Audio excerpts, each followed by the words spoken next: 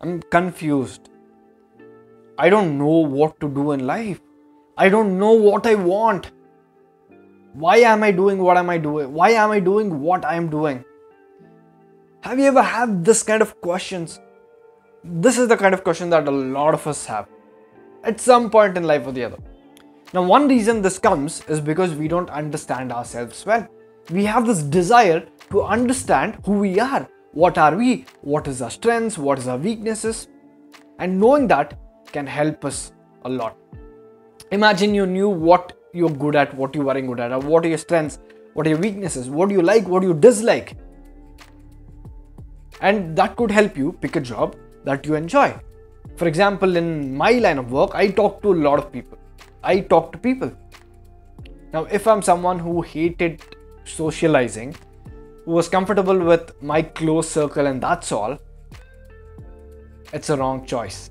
This would have been a very wrong choice. But somehow I enjoy talking to people. With that said, in this video, I am going to be helping you understand yourself. I am going to be giving you three ways to understand yourself well. Very practical, very applicable, very result oriented. With that said, let's begin.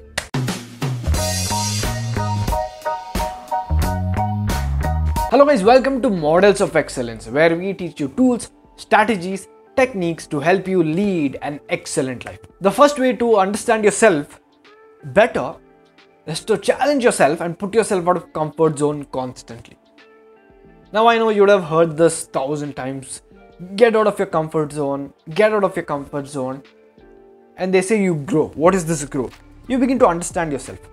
For example, I never had the courage to go and speak on the stage.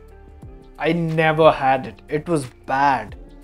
Like I could dance on the stage, but speaking is a whole different ball game.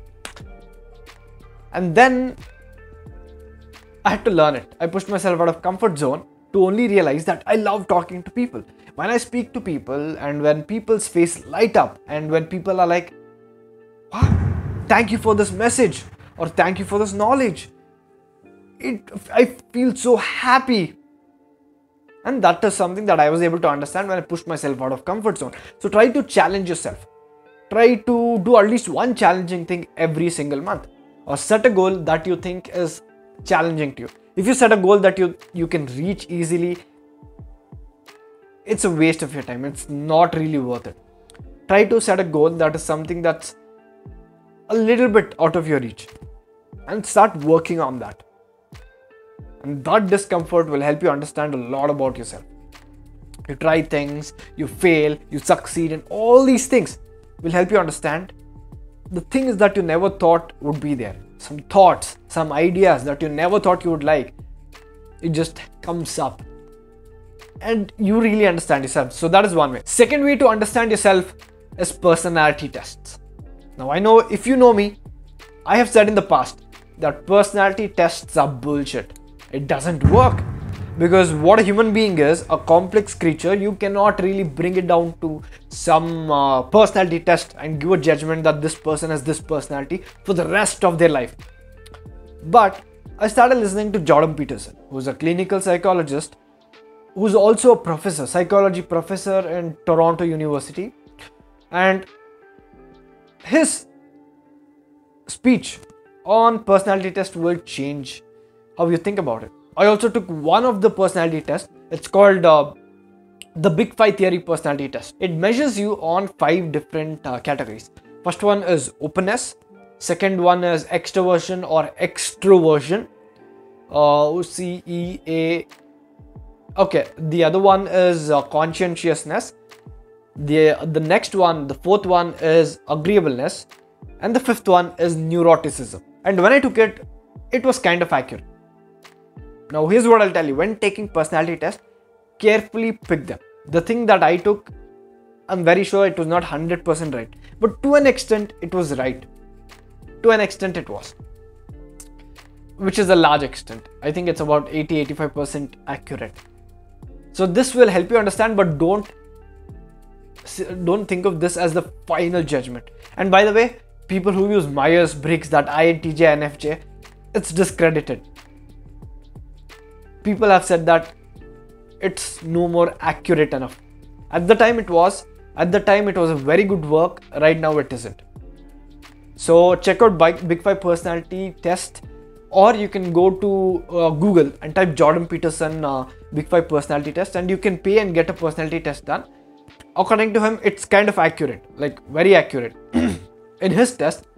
So you can try that out as well, but to an extent, you will get a picture of who you are, which is amazing. Third one, confront negative emotions about other people and get feedback. I had to stuff the feedback in so that it would be three, but confront negative emotions and uh, get feedback. Sometimes when we look at some people, what they say or what they speak, we hate something about it. Like we like, I don't like this person. When a friend of you does that, ask them why. A lot of times they're like, I don't know, just something about them. Now, one of the philosophers who's a Greek philosopher, I don't know the exact quote, but he was telling something that look, whatever you dislike in others, you must look for within yourself if you have that. Right? Sometimes we dislike others because whatever we dislike in ourselves might be there, or it's something like that. But I'll tell you what, when you start to ask yourself why you don't like a particular person or what you not like about them, it's never about that person a lot of times. It's about you right? Maybe you believe in something and if this is against your belief you completely discard it. Now for example if you believe god exists and if somebody says god doesn't exist you hating them is not good and i'll tell you why. In example of whether god exists or not you can prove both the things you can prove that god doesn't exist to the believers you can also prove god exists to the non-believers if they listen enough and it's something that we frankly don't know. We don't understand the concept of God as well. So, when you confront people who have different opinions other than you, you understand that you could be wrong and it helps you grow. Right? Instead of having blind faith, it helps you get clarity on things. Now, for example, I used to be into motivation and stuff and things like that. Right now, I don't really give motivational speeches. I'm not into motivational stuff. The reason being, you watching any of the videos feeling motivated and just sitting there and then doing nothing is not going to help. If I give you something practical that you can get up, take action, and get results, that's what works. It's getting you results. Otherwise, it's utterly useless. And that I was only able to understand once I admitted to myself that look, motivation isn't everything. In fact, it's not much, it's not worth much, it's just an emotion. Other than that, you still need strategy, techniques, practicality, application. There's so many other things which are more important. And that's when I started learning more things, learning some deep concepts, learning some applicable practical concepts that are away from motivation, which is more usable. So confront people who you don't who you don't agree with. It'll help you understand about yourself as well. What is it that you don't like? Why is it that you don't like? Now these are deep questions you may not be comfortable answering these, but I can assure you that it will help you. Now, the other part of it is feedback. Ask people feedback. Now, I was taking this account because some of some people, when they tell you, they give you very good feedback. Ask your mentor, or ask your coach, or ask your teacher, right? Because what you think about yourself, other people don't don't think that. You may think you're not good at something or you're good at something. When you ask other person their perspective that's when you kind of feel like okay maybe this maybe that. My accounts teacher told me something that i never expected. He was talking to all of us okay? And he said you know what? All you guys we were on a conference call.